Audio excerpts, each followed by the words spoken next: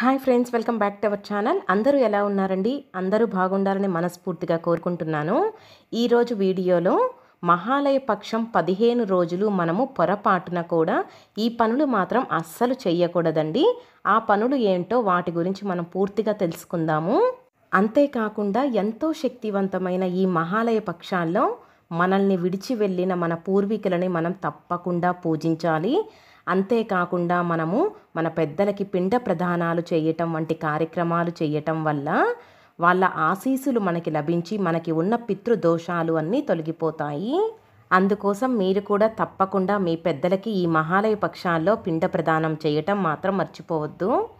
ఈ వీడియో చూసే ముందుగా అసలు రెండు వేల ఇరవై రెండులో మహాలయ పక్షాలు ఎప్పుడు వచ్చాయి? మనం పితృదేవతలను ఎలా పూజించాలి? దానికి సంబంధించిన వీడియోస్ మన ఛానల్లో ఉన్నాయండి. వీడియో లింక్స్ ఇస్తాను. తప్పకుండా చెక్ చేయండి. ఈ మహాలయ పక్షాలు అనేది పదిహేను రోజులు ఉంటాయి.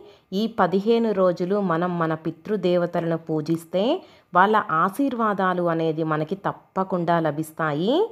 మన పెద్దలు చనిపోయిన తిది నాడే మనము మన పితృదేవతలకి పిండ ప్రదానం చేస్తూ ఉండాలి. మన పెద్దలు చనిపోయిన తిది గనక మనకి తెలియకపోతే మనము ఈ మహాలయ అమావాస్య అంటే ఈ పెద్దల పండగ రోజు మనం మన పితృదేవతలకి పూజ చేయటం పిండ ప్రదానాలు చేయటం వంటివి చేస్తూ ఉండాలి.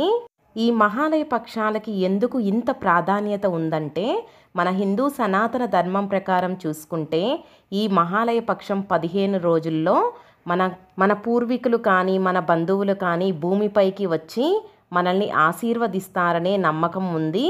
అందుకే ఈ పక్షానికి అంత ప్రాముఖ్యత అనేది ఉంది.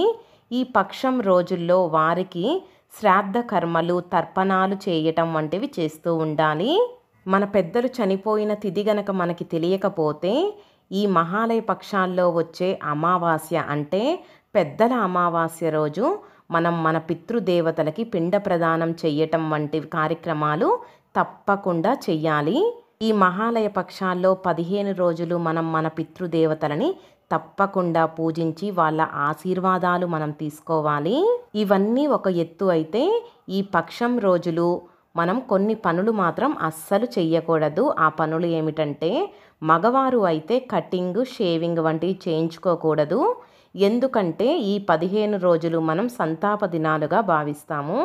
ముఖ్యంగా పితృపక్షం ముగిసే వరకు ఏ శుభకార్యాలు కానీ కొత్త పనులు కానీ ప్రారంభించకూడదు. అలానే కొత్త బట్టలు కానీ వస్తువులు కానీ బంగారం కానీ ఏ ఇతర విలువైన వస్తువులను కూడా మనం ఈ మహాలయ పక్షాల్లో తీసుకోకూడదు. అంతేకాకుండా కొత్త ఇల్లు కానీ వాహనాలను కానీ ఈ మహాలయ పక్షాల్లో మనం కొనుగోలు చేయకూడదు. అందుకోసం మీరు కూడా తప్పకుండా ఈ మహాలయ పక్షాల్లో మీ పితృదేవతలను పూజించి వాళ్ళ ఆశీర్వాదాలు తీసుకోండి. ఈ వీడియో నచ్చితే మాత్రం please like share comment and subscribe. Thank you for watching this video.